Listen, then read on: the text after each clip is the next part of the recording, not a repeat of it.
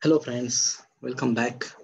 So we are meeting again uh, for this uh, MCQ multiple choice question series for botany paper second of uh, SPPU, FYBSc botany, plant morphology and anatomy. And today we are going to discuss one more topic, interesting topic after discussing a topic on flower.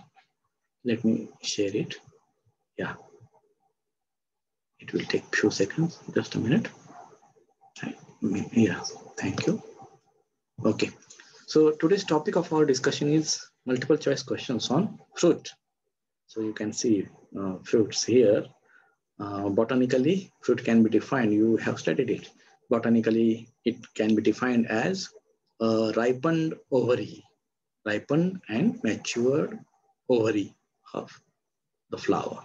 So we'll begin with the first question. So see here, which of the following is or are correct? In angiosperms, after fertilization, what happens? Ovules develop into seeds. Ovary develops into fruit.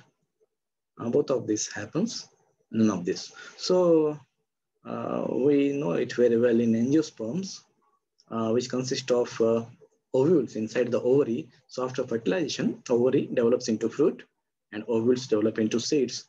And that is the reason why they are called as angiosperms. Sperma means seeds in case, seeds in fruit case after fertilization. The plants in which seeds are present in the fruit after fertilization or the plants in which ovules are present in ovary before fertilization are called as angiosperms. So here answer will be both C. And just now we studied that uh, ovary develops into fruit. Fruit can be defined botanically as the matured ovary and ripened ovary, matured and ripened ovary. So C is the answer here. Next one. Which of the following is or are the biological functions of fruit? So you can see protection of seed, dispersal of seeds. Both of these are the functions of fruit. So it, it is one of the reason for the evolutionary success of success of this uh, group of plants called angiosperms. So C is the correct answer here. Next one, the formation of fruit without normal fertilization. Many people, uh, people uh, commit mistake in saying that the formation of fruit without fertilization, but that is not correct. The formation of fruit without normal fertilization of ovule is called as what? So that is the question. Amphimixis, apomixis, parthenocarpy, none of this. So this is the process of formation of fruit without normal fertilization. Normal fertilization of male and female gamete, which is called as amphimixis. Amphimixis means normal fertilization of male and female gamete. Apomixis is a type of asexual method of reproduction, whereas the formation of fruit without normal fertilization uh, that, re, uh, that uh, results in formation of seedless fruit, this process is called as parthenocarpy. So here the answer is option C. When the fruit is formed from a single ovary of a single flower without involvement of any other parts of flower outside the ovary, except ovary, no other part is involved. Just now we have seen that after fertilization, ovary is converted into fruit. So when the ovary sole, solely it gives rise to fruit, there is no involvement of other parts of flower. And when uh, the fruit develops from a single ovary, which is present in a single flower, that is the case, then in that case, the fruit is called as what type of fruit it is. So see here, options are given. Uh, true fruit or eucarp false fruit or pseudocarp, aggregate and multiple fruit.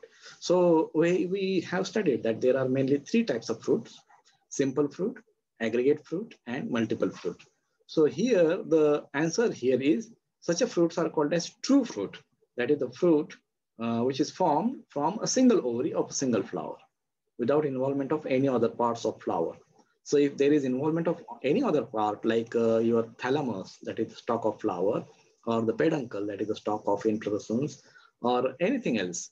For example, if uh, calyx remains attached to the fruit, uh, that such a calyx is called as persistent calyx. If that calyx is present along with the fruit, uh, then that, that fruit is also called as false fruit. So here aggregate fruits are not developed from single, uh, sorry, aggregate fruits are developed from single flowers, but multiple fruits are not developed from single flowers. They are developed from the single inflorescence. So these fruits are false fruit. Whereas aggregate fruits, they are not formed from a single ovary of a single flower, but they are formed from many ovaries which are present in a single flower, that will uh, that will discuss later. But at this stage, you just uh, remember here that multiple fruits and aggregate fruits are not uh, true fruits; they are false fruits. Whereas uh, simple fruits are true fruits, but all simple fruits are not true fruits because those fruits which develop, those simple fruits which develop from inferior ovary, because we studied in the last lecture that in case of inferior ovary, the, uh, the thalamus grows further and the wall of thalamus fuses with the wall of ovary. So during fruit formation, what happens? The ovary gets converted into the fruit, whereas this thalamus tissue is also attached to that uh, fruit tissue. So there is involvement of other part of the flower called as thalamus. So that forms, that gives rise to false fruit. So those flowers which are having inferior ovary, such flowers are called as epigynous flowers. They are false fruits. So if the fruits are simple, they will form true fruit. But if the simple fruits are being derived from inferior ovary, then those fruits will be, those fruits would be called as false fruit. So all aggregate fruits are false fruits. All multiple fruits are false fruit, uh, false fruit because multiple fruits are developing from not a single flower, but they are developing from many flowers of the single inflorescence. Aggregate fruits are false because they are not developing from a single ovary. They are developing from more than one ovary. So aggregate fruits are false fruit, multiple fruits are false fruits, whereas simple fruits which develop from inferior ovary are also false fruit. Simple fruits developing from superior ovary are true fruit. Are you getting? So these three options are wrong. Here the correct option is true fruit, you got Okay. When a single fruit develops from a single ovary of a single flower, it is called as what? When a single fruit develops from a single ovary of single flower, it is called as, you have studied, there are three types of fruit, simple fruit, aggregate fruit, multiple fruit. So here, when a single fruit develops from a single ovary, single ovary means when there will be the case of single ovary in a single flower, if the flower consists of only one carpel. Gynoecium is made up of a single carpel. Uh, it will have stigma, style, and ovary. That is single ovary. So that condition is called as simple pistil, simple gynoecium, monocarpellary condition in which only one carpel is present. Or there may be case in which more than one carpels are present, such as bicarpellary, tricarpellary, or polycarpellary. But if all these carpels are fused together, united together, giving rise to a single ovary below. Are you getting? So this condition is called as polycarpellary syncarpous. That means if two carpels are there and they are fused, it is called as hmm. bicarpellary syncarpous. Similarly, tricarpellary syncarpous. So like that, if the gynoecium is polycarpellary syncarpous, in that case also it will form a single ovary in single flower. So in a single flower, the ovary will be single if the gynoecium is monocarpellary or if the gynoecium is polycarpellary syncarpous. So when that is the situation, and when a single fruit develops from a single ovary of single flower, then it is called as simple fruit. Are you? So here the answer is A, simple fruit. What are aggregate fruit? When the many fruits develop from many ovaries of a single flower, it is called as aggregate fruit. How? You see, uh, if the flower consists of gynoecium, which is polycarpellary apocarpous. Apocarpous means if there are two carpels, three carpels, or more than three carpels, and all carpels are free from each other, so that there are as the number of ovaries as the number of carpels.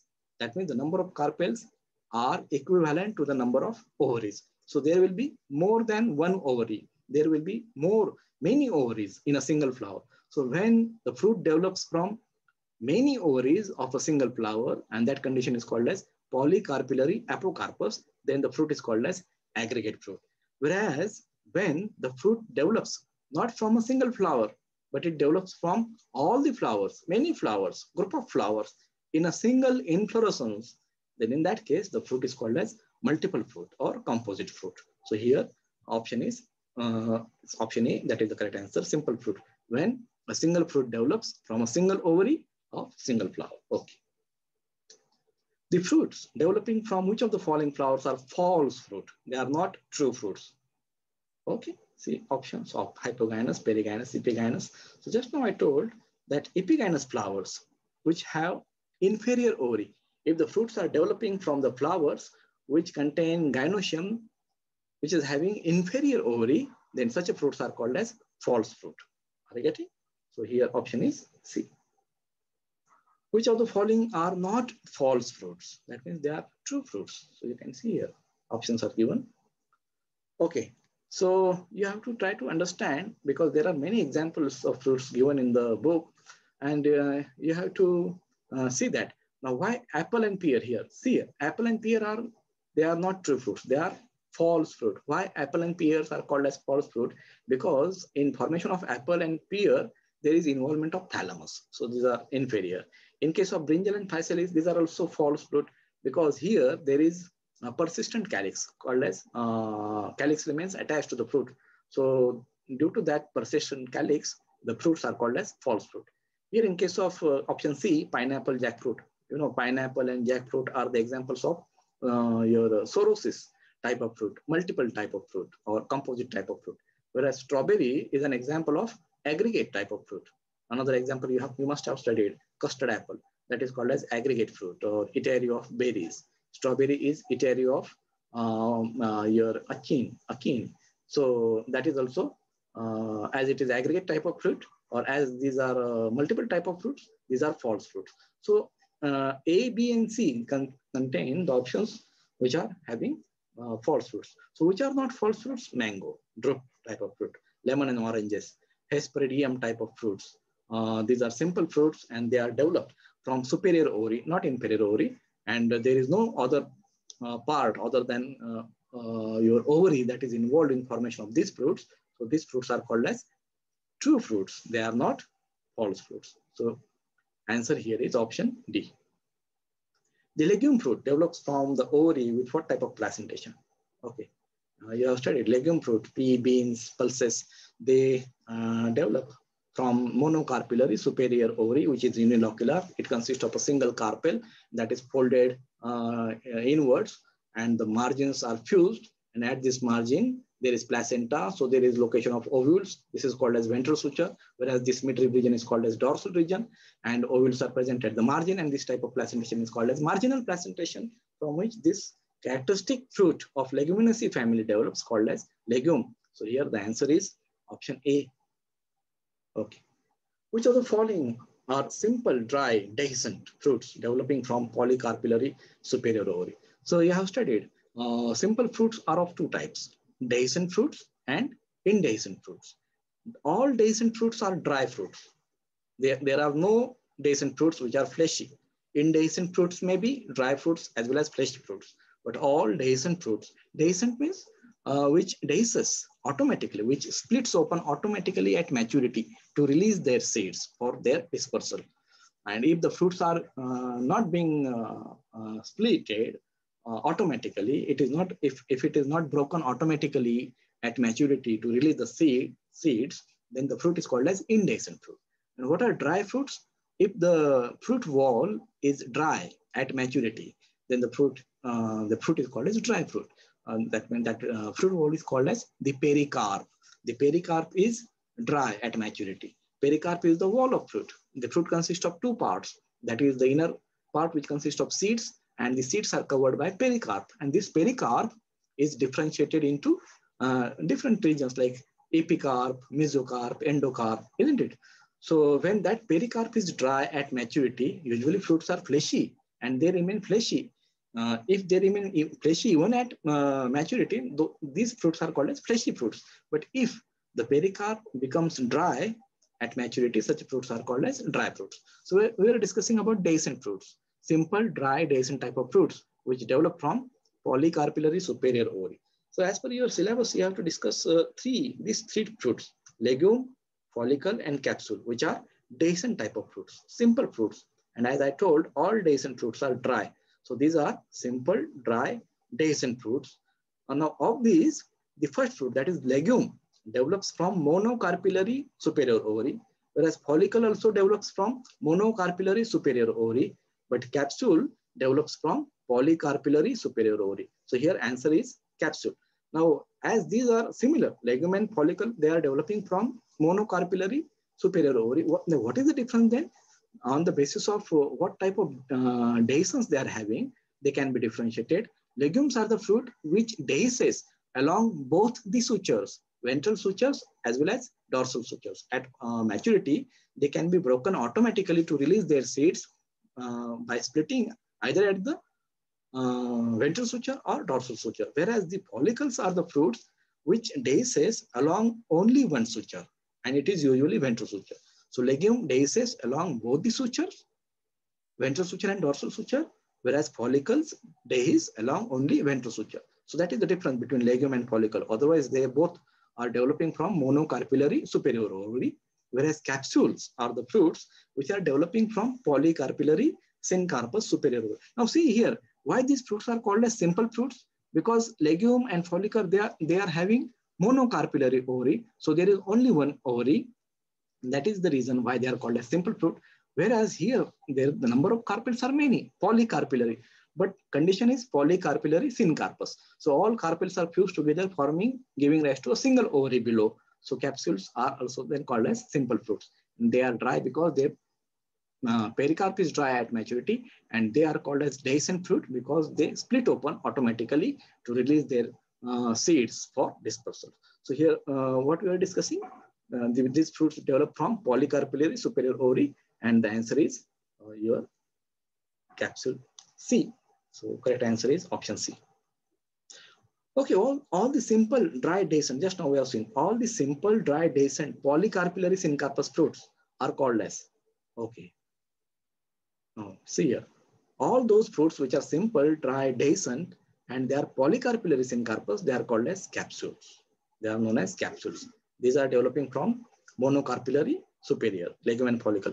Capsules are developing from polycarpellary syncarpous and all such fruits are called as capsule. Hesperidium is other type of fruit. So here option is C. That is the correct answer. All the simple dry indehiscent. Now we are talking about indehiscent fruit. Previously it was dehiscent. Indehiscent simple fruits are of two types, dehiscent and indehiscent. Dehiscent we discussed, legume, follicle and capsule. Now we are going to discuss about indehiscent fruits, which are of two types, dry indehiscent and fleshy indehiscents. So here, simple dry indehiscent. And all these fruits are one-seeded, having a single seed. Such a fruits are called as what? Okay, all simple dry indehiscent fruits are called as achenial fruits, achenial fruits. And there are different type of fruits, uh, which are achenial fruits like caryopsis, then your achene, uh, then cypsela, and nut. These four types of fruits, as per your syllabus, you have to study simple, dry, indehiscent, single-seeded fruits. And these fruits are called as achenial fruits. So C is the correct answer. So here, simple matching type question, again, legume, follicle, capsule. Uh, just now we discussed. So legume dehisces along both the sutures, follicle dehisces along only one suture, and that is ventral suture, and capsule dehisces by means of walls. Uh, that is their pericarp is broken uh, into pieces and uh, that pieces may be at uh, their locules or at the backside on dorsal suture. Uh, so you can match easily one, two, three. A is the correct option here. Okay. Okay, lady's finger, cotton, datura, castor, opium, poppy, all these fruits are the examples of capsule, capsule fruits. Okay. So C is the right answer. Lady's finger, cotton, datura, castor, opium, poppy, these are capsules. That is simple, dry, dehiscent uh, type of fruits. Okay, in which of the following one seeded fruit? That is indehiscent fruit. The pericarp, that is the wall of fruit, is fused with the wall of seed. Now I told you there are four different indehiscent dry fruits. That is caryopsis, achene, cypsela, and nut. Now what happens here, caryopsis and achene, they develop from monocarpellary superior ovary, whereas cypsela develops from bicarpellary, uh, bicarpellary syncarpous inferior ovary, whereas nut develops from polycarpellary syncarpous superior ovary. I will tell again, caryopsis and achene, they develop from monocarpellary superior ovary. Cypsela develops from bicarpellary inferior ovary and nut develops from polycarpellary syncarpous ovary. So out of these four fruits, which are indehiscent, one-seeded fruits called as achenial fruits, here Cypsela, which develops from bicarpellary inferior ovary, it is developing from inferior ovary. So this is false fruit. and all the rest, uh, rest of these three are true fruits. So that is one point. So here, what is asked? The pericarp, that is the wall of fruit is fused with the seed coat, wall of seed. So this is the case in case of caryopsis. Uh, examples are cereals, your uh, cereals like wheat, rice, jowar, bajra. You can see in those fruits, the uh, we cannot distinguish between the fruit and seed. Fruits are single seeded, fruit consists of a single seed, but the wall of seed is fused with the wall of uh, fruit in such a way that it appears as one and the same thing. And we call such fruits as grains. So wall of fruit that is called as pericarp, it is fused with the wall of seed or seed coat in case of caryopsis. Whereas in case of achenes, cypsela and nut, uh, the pericarp is, it is not fused, it is free from the seed coat. In case of caryopsis, it is fused. In case of uh, and cypsela, the wall of pericarp, the wall of that is pericarp is free, free from seed coat. And in case of nut, uh, you, you have studied. In case of nut, the it is free, of course, and the pericarp is very hard, woody structure in case of nut fruit. Okay, so here the option is A, caryopsis, cereals, wheat, rice, jowar, bajra, in which the pericarp is fused with the seed coat. So A is the option, correct option. Okay, again matching type question.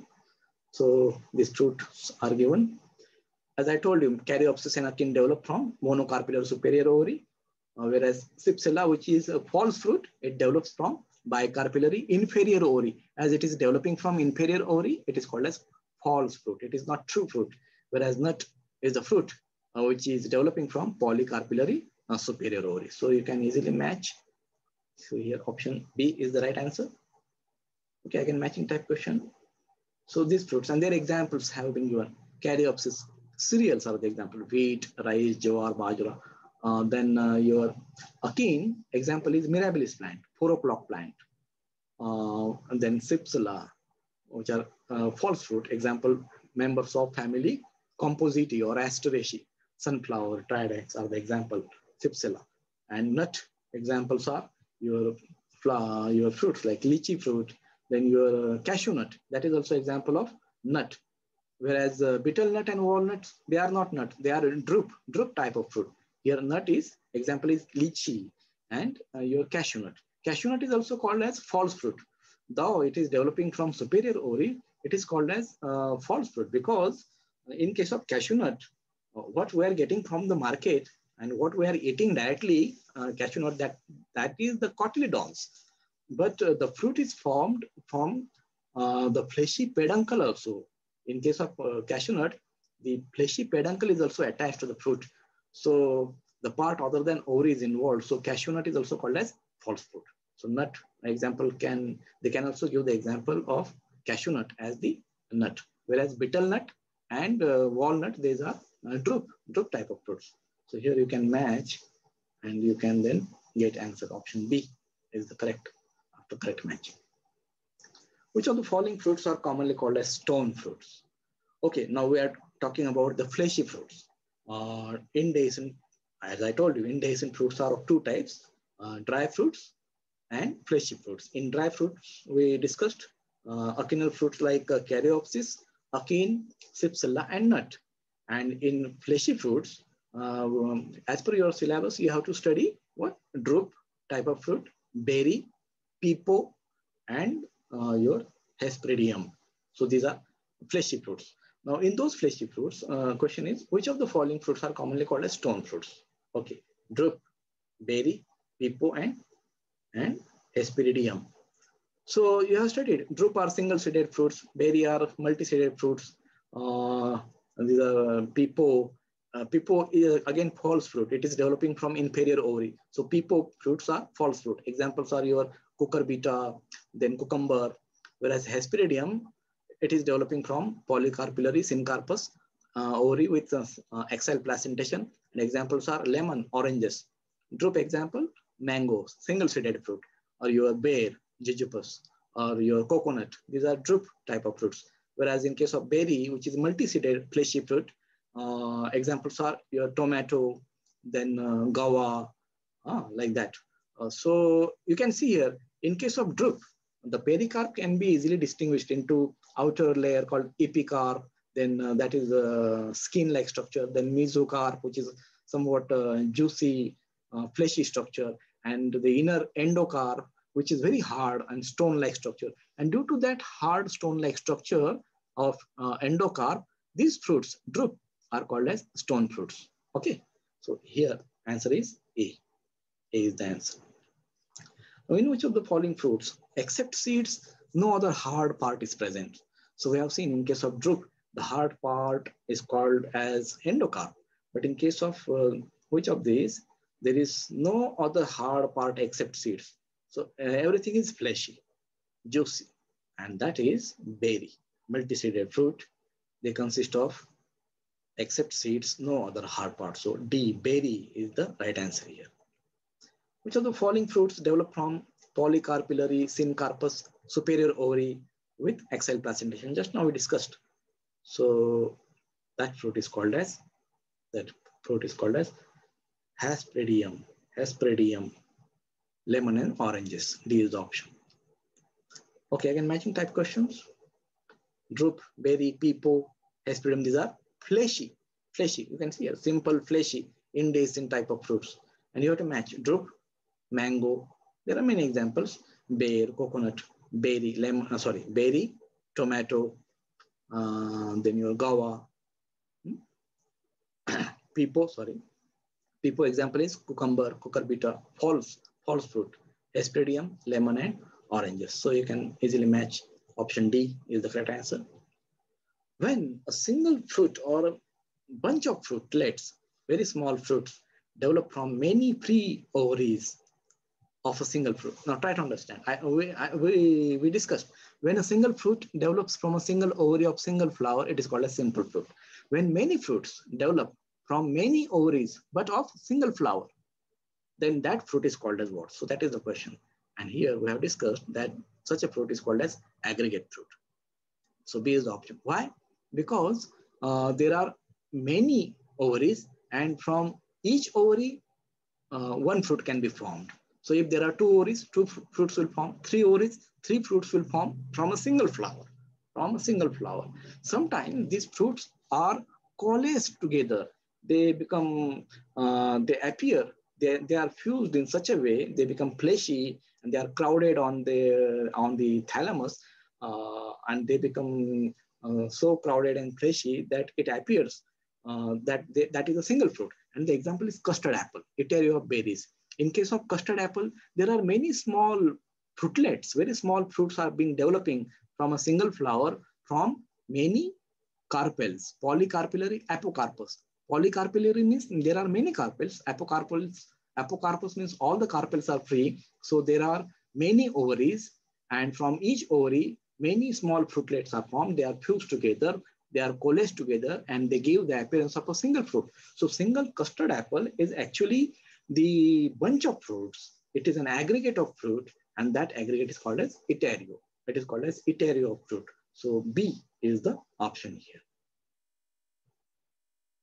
When the number of fruit, fruits or fruitlets developing from a single flower corresponds to the number of carpels as the number of fruits is equivalent to the number of carpels or number of ovaries in a fruit, then that fruit is, of course, it is called as aggregate that we are discussing, we are discussing just now.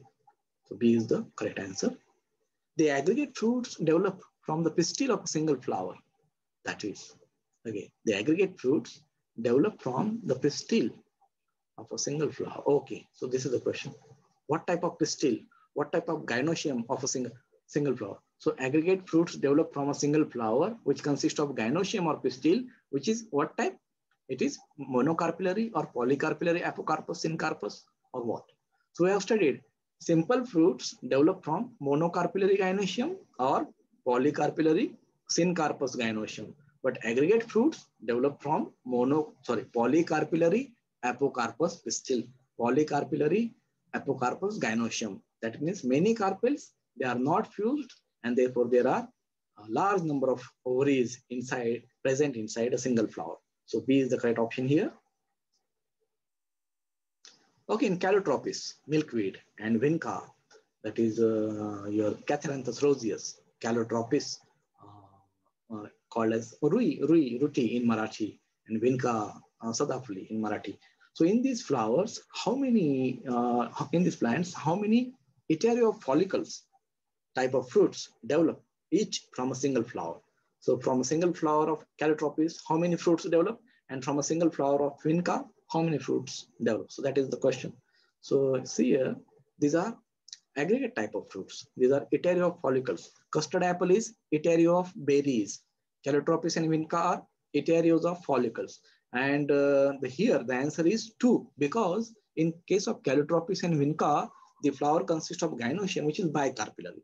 Uh, there are two carpels. And as there are two carpels and they are apocarpous, they are not fused. So there are two ovaries, each in single flower. So um, each ovary forms a single fruit. And so there is formation of a pair of fruit. Two fruits are formed in a single flower. So here answer is option B. That is the correct answer.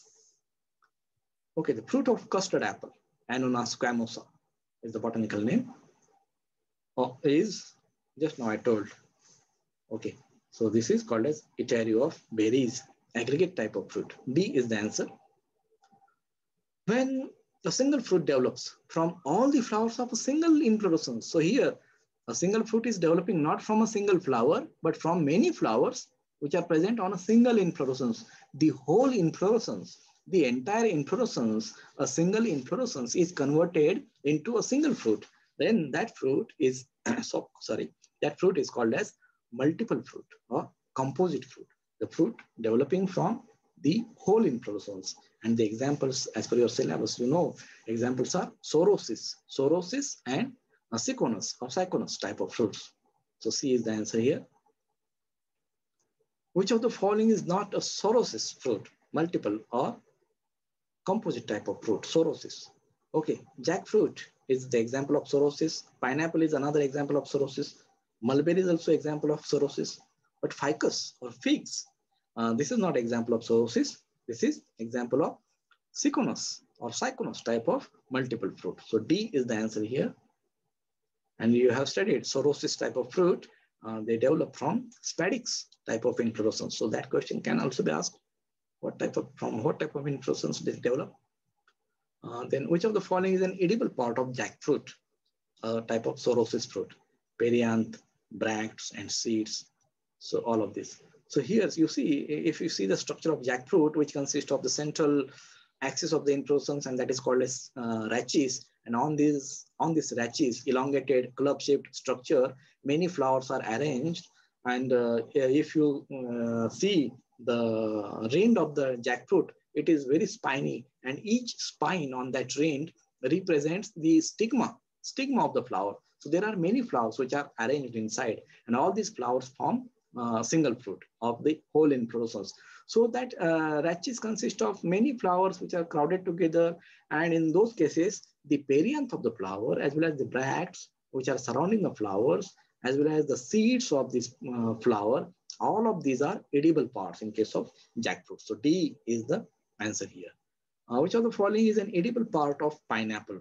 Pineapple fruit, multiple or composite type of fruit called as sorosis, rachis, perianth, bracts, and all of this. In case of jackfruit, uh, rachis was not the edible part, but in case of pineapple, that rachis is also edible part. Seeds are not edible here. Seeds are very uh, inconspicuous here in case of pineapple, but rachis, perianth, and bracts, all of these are uh, forming edible part of an of, of this pineapple fruit, uh, sorosis fruit, multiple or composite type of fruit. So. So here the answer is option D. That is the correct answer.